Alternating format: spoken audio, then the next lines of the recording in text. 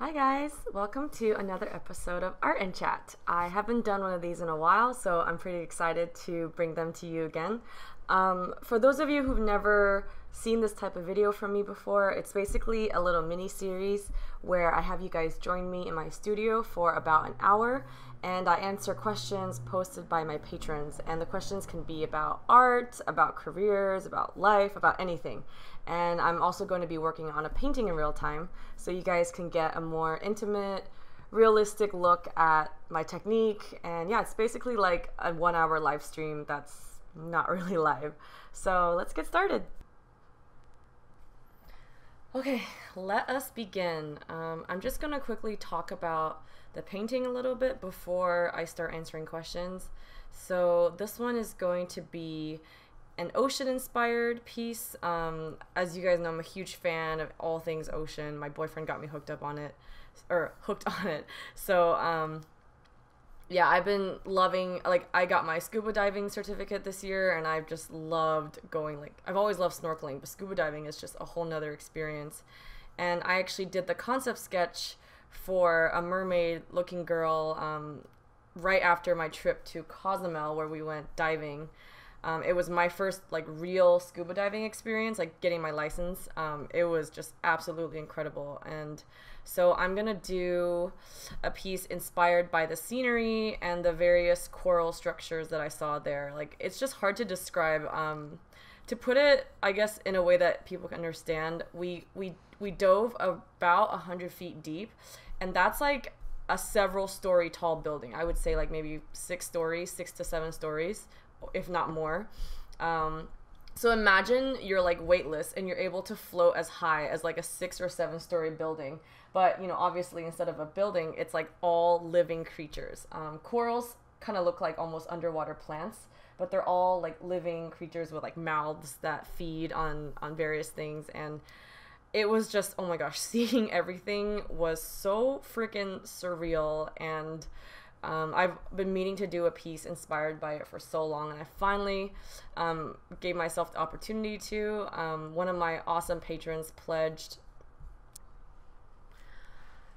Sorry about that. My webcam crashes all the time. This is not the first, so be prepared for more tragedy like this. But yeah, um, as I was saying, this is an ocean inspired piece, and I can't wait to do it and um, I'm gonna get started now with questions so that you know it doesn't crash on me again.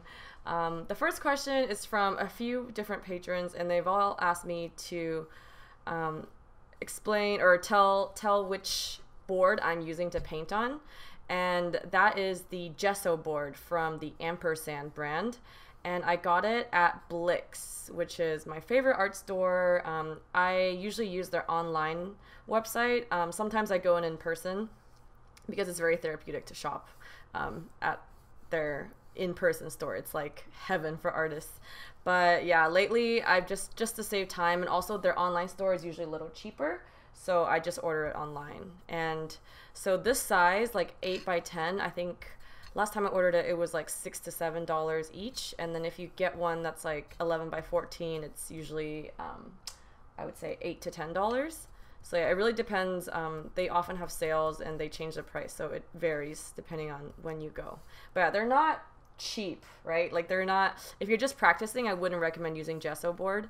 But whenever I do pieces for clients um, or for gallery shows, I like to use gesso board. They're really good quality. Um, I love the smooth finish, and they don't have that like bumpy canvas texture. And also, um, uh, they absorb the paint at the perfect rate. I think I've said this many times, but they absorb just enough paint to make it easy to apply layers, but they don't absorb too much so that um, it doesn't dry out so you can still blend. So yeah, they're some of my favorite um, surfaces to work with. Oh, and part of me, I'm gonna be awkwardly like um, stopping and starting my video just so it doesn't crash. So if you see me reach behind, it's because I'm trying to sync up the camera and my DSLR.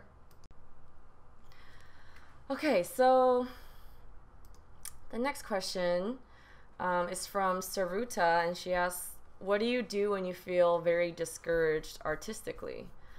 Um, so I I seldomly get discouraged. I think for me the biggest feeling I have is just artist block, like needing to finish work but being too I guess lethargic or not having enough ideas.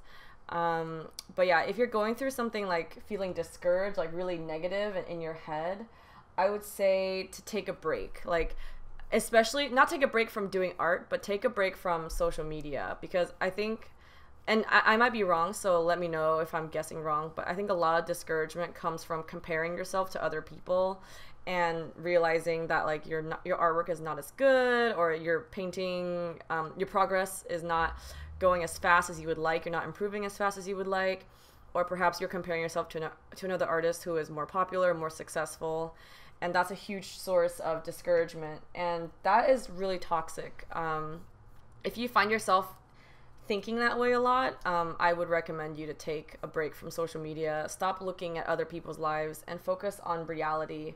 Focus on just slowly improving your craft without any distractions, without any pollution or negative thoughts. And, you know, give yourself, like, cut yourself some slack. Like, don't expect to be a master overnight but like when you surround your day-to-day um, feed and everything you view with like people who are masters or people who have like accomplished so much in their careers it's easy for you to like compare yourself and realize like oh i'm not where i want to be or i'm not i'm not even close to like this person's level of success.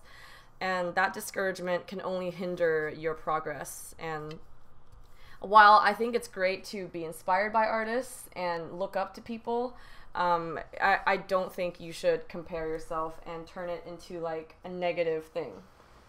So, yeah, if you find yourself getting discouraged from from viewing artists or social media or comparing yourself or just beating yourself down, um, just take a break, take take a breather, and just try to be like without your phone, without um, browsing Instagram or YouTube for a while, and just kind of focus on improving on your on your own. And there's so many ways you can do that. Like, um, I know like Instagram and social media has become a source of, of learning as well, but there's so many places where you can learn. Um, you can borrow books from the library. You can watch shows on PBS. You can do so many things and learn without um, feeling discouraged.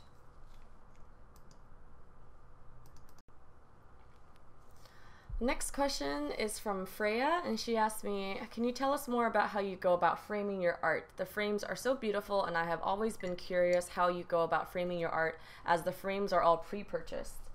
Um, sure, yeah, I could totally talk about that. So, I do pre-purchase all my frames. I think it's a very um, it's a very wise thing to do to save money because getting your art custom frame costs so much more than just getting um, a pre-made frame. Like it's not just like double the price it's like 10 times the price it can cost you like a few hundred dollars to get a large painting custom framed but if you buy a frame ahead of time it only costs you maybe like I don't know, like 50 bucks, 60 bucks if you can get a good deal. Or if you're lucky and you go to like an antique store or find like a sale of some sort, it can be even cheaper.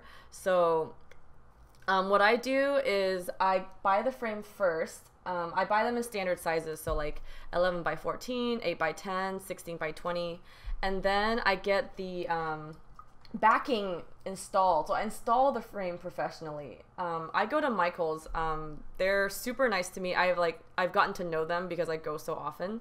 So um, yeah, I get a pretty good deal on on on their frame. Sorry, not I don't get a good deal. Sorry, um, it's always the same price regardless of who goes in. I don't get like a special discount, but it's like about twenty dollars to install the backing, um, in addition to the cost of the frame, um, which is maybe thirty to fifty dollars, and, and that's on a big painting. If you get a small backing installed, like on an eight by ten, it'll be maybe around like ten dollars or less. So that's how I, I go about framing without breaking my budget. So the next question is from June, and she asks, How do you build a following on YouTube and not get discouraged when you have yet to make any sales? Love you, happy. Love you too, June. Um, the way you get discouraged from from not making any sales or from like not I guess not succeeding or not not being as um, proficient as you want in any angle of the art career is I think I mentioned this before, but stop comparing yourself to other artists. Like just it's just know that not everyone got to a place of success or even making a sale overnight. Like it takes a long time to even sell one painting or sell your first painting. So don't get discouraged. Um, like when you look at people making sales and then you look at yourself and you're like, oh, I haven't made any sales. I must be doing something wrong or I must be failing. Um, that's the wrong way to think because like you only see people's like finished product. You don't see the kind of behind the scenes struggles or the journey it took for them to get there. So yeah it, it is really easy to be like oh my god this person sold so much or has so many views or made so many prints or whatever and i'm not so therefore like i must not be as good. But when in reality you might just not be um, not have had as much time as they've had on their path and equally even if you had the same amount of time like if, if maybe you're comparing yourself to someone who started around the same time you did and they're growing a lot faster they're selling a lot more that's still okay. Like it's you can't force people to buy your product. You can't force people to subscribe to you. People have got to make these choices on their own. And that person might have just struck a chord with an audience or gotten lucky and you haven't. And you can't blame yourself for not being as as lucky as someone else you know? Like that's not something you can control all you can do is keep working hard and keep pushing and just wait for well not wait but work towards your goal and work towards your your chance your opportunity to come. Work towards your big break. Um, nothing is going to come out of like sitting and moping around and feeling discouraged about yourself. So yeah if you're feeling like you're not making a sale and that's discouraging keep pushing. Push even harder. Um, maybe like instead of worrying about making a sale, just paint something that you actually love, something that you believe in, and tell a story that, you know, um, really shows your voice. And when you do that, you might actually find um, that people respond better to it because you are being more authentic and your artwork, you know, has just like a overall more positive, more honest vibe. And then maybe then you'll make a sale. Like you never know, right? So, yeah, that is my advice. I keep redoing this face. I'm having a little bit of trouble like multitasking. I think for a while I was um I was pretty familiar with like talking, recording and painting at the same time, but I think maybe I should get a little bit more practice cuz it's starting to be a little bit of a struggle. Um but I'm gonna try my best. So usually when I start off paintings, I do like a concept sketch and then I transfer the sketch onto the canvas with like a, a graphite paper or something like that. So I have like an outline or some sort of blueprint to start with. But for this one, I'm starting like just freehanding from a blank canvas. And yeah, it's posing a lot of extra like I just because I haven't done this in a while, it's it's there's some unforeseen problems with like measuring the proportions and getting everything, you know, proper properly measured, but I'm going to try my best, guys. So yeah pardon me if I take a pause answering questions to just ramble on so I can focus on on getting this painting measured right. I just want to make sure her face is like exactly how I envisioned it. Like whenever I start paintings, I envision what the subject will look like and I have like already an idea of what what I want her face to be and I'm basically like sculpting my my painting until until that face appears and then I start doing the the little details. So yeah, for this one, I actually am using, um, for reference, this beautiful uh, Indian actress. Uh, I cannot pronounce her last name for the life of me, but it's like it's like Padukone or something. Her first name is Deepika. Deepika.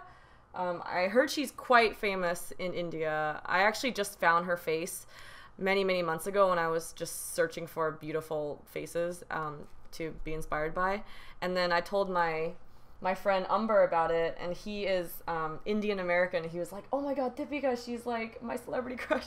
So uh, he really uh, encouraged me to use her face as reference. I was like almost too intimidated because her face is so freaking beautiful and perfect, and I just like was always too scared to paint it because I was afraid I wouldn't do it justice.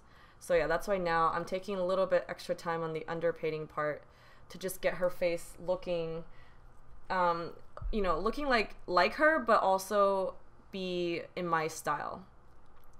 I don't want to make like just a photocopy of, of her face. I want to make her, I guess, my interpretation of her.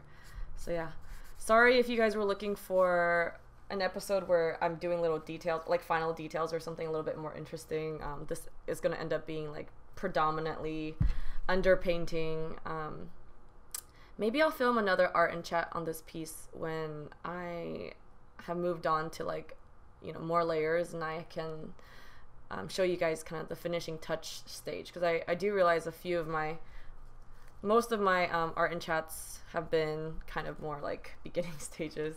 I just think it's more interesting for you guys to see because um, you know it's kind of like an ugly rough stage and there's a lot of struggle and I think it's it's a more accurate representation of of what painting is like. It's, it's not always fun in games, and people always said that it's nice. It's very encouraging to see the beginning parts being so rough because like it's so easy to want to give up in the beginning when nothing looks perfect yet. But yeah, okay. So the next question is from Veronica, and she asks, "Do you enjoy painting as much now as before? Um, before you had to finish a painting to a specific time, is it stressful at times?" Um, I definitely enjoy painting the same, if not more, each day. Like I think as time goes on, I just love it more and more. So, um, yeah, I think I think maybe your question means like when you said before you had to finish a painting to a specific time. So like before when I didn't have to use or I didn't have to deal with deadlines or painting for like clients or galleries and I can almost like freely paint on my own. Did I enjoy that more than now where I have to I have kind of more solid deadlines um, and people that I have to answer well not answer to but like deliver pieces to.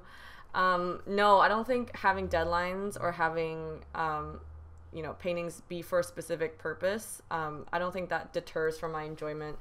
I think I will always love painting, um, regardless of, of who it's for or you know what the context is obviously commissions sometimes are a little less enjoyable because there's an added layer of stress because you want to make sure your client likes it. So you want to make sure like it looks like the person that they want you to um, paint. You want to make sure that you deliver on time. So there's more stress but i don't think the stress makes it less enjoyable. It's just like a different feeling in addition to the enjoyment. Um, but yeah i think like for me painting has always been like my number one source of therapy. It's always been a very pleasant experience, regardless of what I'm painting. Like just the physical act of sitting in my chair standing up um, in front of my easel and, and painting and just like smearing paint around the canvas or the wood panel. Just that, it just brings me joy. It's like getting a massage or something. Like it just feels so good. So yeah, um, it has not changed at all.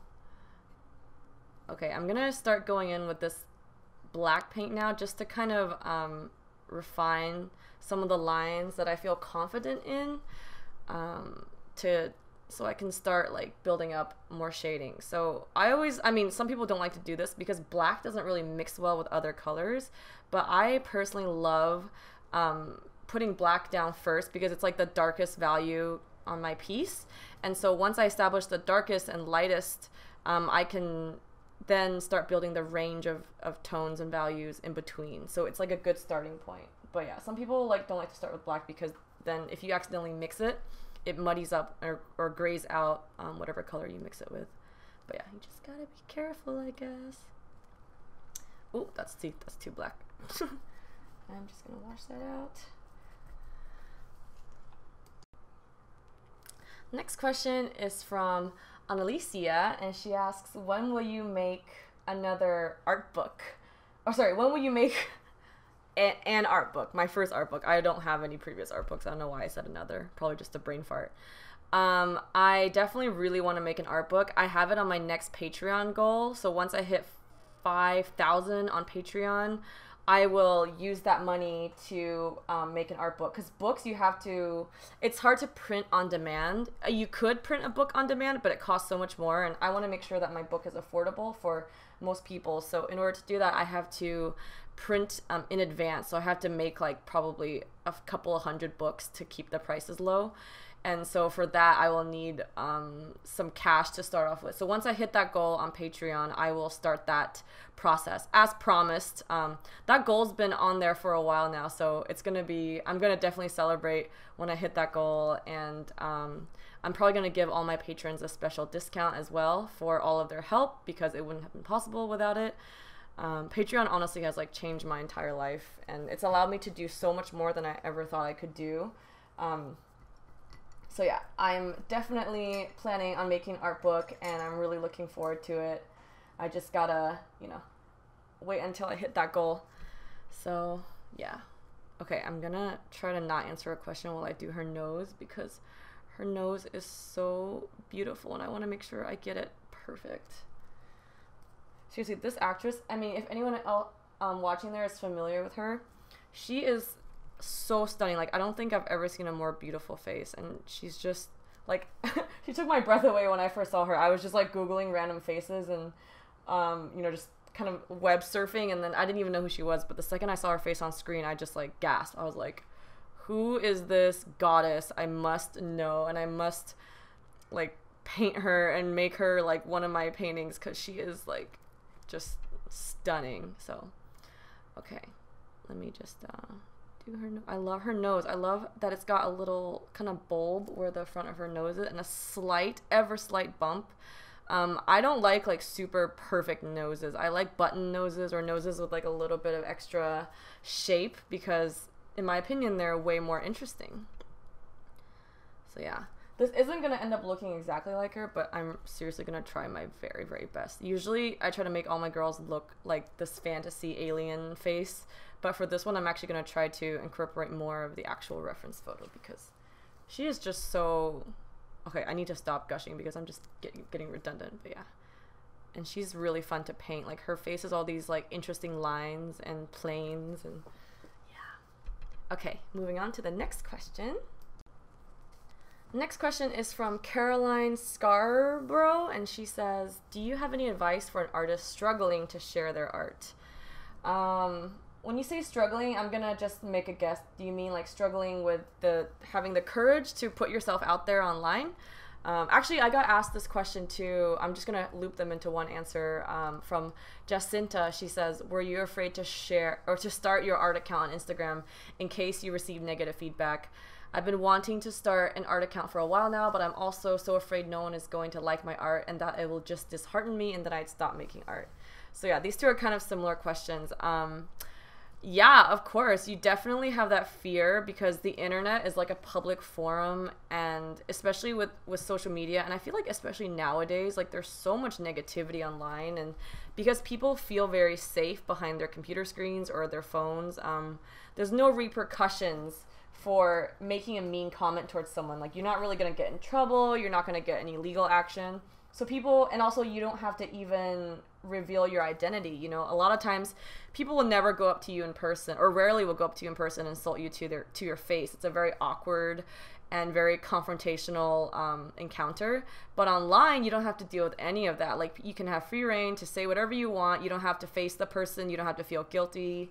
You don't have. You'll never get in trouble so yeah people are just way more open with negativity online and so i totally understand that fear. I definitely considered it too. Um, i think i was pretty lucky because when i started instagram it was a few years back and i don't think the cyberbullying was as prevalent. Actually i feel bad. I don't even want to say it. I don't even want to call it cyberbullying because sometimes when people leave negative feedback, it doesn't feel like bullying. It's just like sometimes they'll just say like, "Oh, your proportions are off," or like, "Oh, you need to work better on this and that." And like while it might be even helpful like constructive criticism, I think to a lot of young artists or people who've never shared their stuff online or people who are just, you know, a little bit more shy or have different personalities, like it can be very discouraging and disheartening. So, um, I would honestly recommend that if you genuinely feel like um, seeing negative negative comments or crit- critical comments on your artwork is going to really really discourage you i would recommend you to not do it. Because like like i personally i ha- i'm a pr- i'm a pretty tough skinned person like i have a weird name my name's happy so i've been i've i've had i've dealt with people making fun of me or teasing me um and over the years i don't think it's ever affected me like i would maybe just born this way i've always been very tough skinned and um, so so I was totally fine starting my Instagram. I didn't have that fear because you know I was like, oh yeah, people are negative towards me or whatever, criticize me, then you know screw it, I'll, like whatever. Um, but yeah, if you're someone who's like a little bit more sensitive, which is totally fine, like everyone has a different personality type, then I would recommend to stay away from the internet. Um, it's not a friendly place, and even in the art community, I feel like the art community we're really lucky. Like most of the people here are super sweet uh, genuinely want to learn genuinely interested in art um, whether it's a hobby or a career. And i think that kind of unites us and helps us um, already have like a common ground to like have a lot of empathy for each other. But i have like i follow some like beauty um, YouTubers or like vloggers, and a lot of them get so much hate for, in my opinion, absolutely no reason. Like, it's just like they can't do anything, make any small mistake. They would just completely get like uh, annihilated online for like saying the wrong thing or making a typo or like I don't know, just doing anything or like anything because like nowadays people will find a way to to be offended by anything. So yeah, um if you're if you're if you don't want to deal with that, then do not make put yourself in a position where you have to deal with that because I think like um, social media is very very volatile at times. Um, that being said, I personally love it because most of my interactions are positive. Like 99.9% of the messages I get and the comments I receive are super encouraging, not only to me, but to anyone who reads them. And, you know, I just, I love establishing a community of positivity wherever I go. So I've been very blessed in that way and I feel very thankful. But that doesn't mean that you're not going to see negative comments every once in a while. And like if you're sensitive to that um, and, and seeing it is tough on you, then I really recommend to at least think twice before you start one because it is going to happen. And the more the more your fan base grows, like the more people, more eyes there are, are the more eyes there are on your artwork, um, the more likely you're going to bump into someone who's going to say something bad about it. So yeah. It's tough. It's really tough. Okay, the last question is from Faye, and she asks, What do you take into consideration when you decide what to paint for the background? Um, interesting question. So it really depends on what my intent is for the piece. Um, most of my paintings are very um, portrait focused, so they're focused on the subject, and the background only acts as like a, a supplement to um, bring out or enhance the subject. So in those cases, I will think about like where does the subject live? What is her story? Where is her home? Where is she from? Um, how is she feeling in this background? Like if I'm painting a mermaid, like I'm doing now, I obviously want to paint a lot of ocean themed backgrounds. Um, maybe like dark colors if if the if the subject has light skin. Um, so you want to do things that almost contrast, yet complement your subject to make make her pop.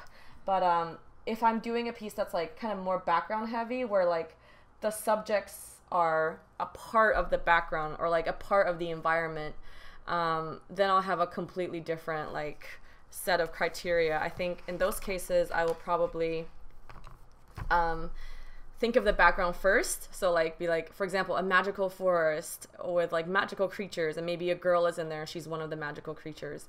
In that case, like um, I will put a lot more thought into like um, every little building up every little detail of the background and the composition of the background. So like instead of relying on the on the subject to be the focal point or the only focal point, I'll also make sure that every other element in the background um, that needs to get some sort of focus or attention is is brought to that attention. Um, if that makes any sense. Sorry, it's a little bit confusing. But yeah, generally, um, it's okay. I think to leave the background a little blank. Like you don't have to um, fill up every square inch of your of your canvas with like all this detail. It's nice to leave a little bit um, of negative space and a little bit of simplicity so that it brings out more focus to the parts that are detailed, um, which in my case is usually the human sub or sorry the the human slash spirit subject with like their their their features on their face and their hair.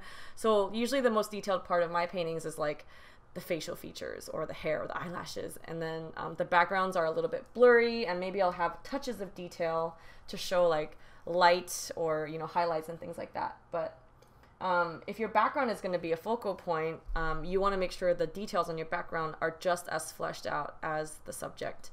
But yeah, like lately I've really been more comfortable experimenting with like almost plain backgrounds and just relying on the subject's um, features and the interesting parts of the subject to to make the entire piece interesting.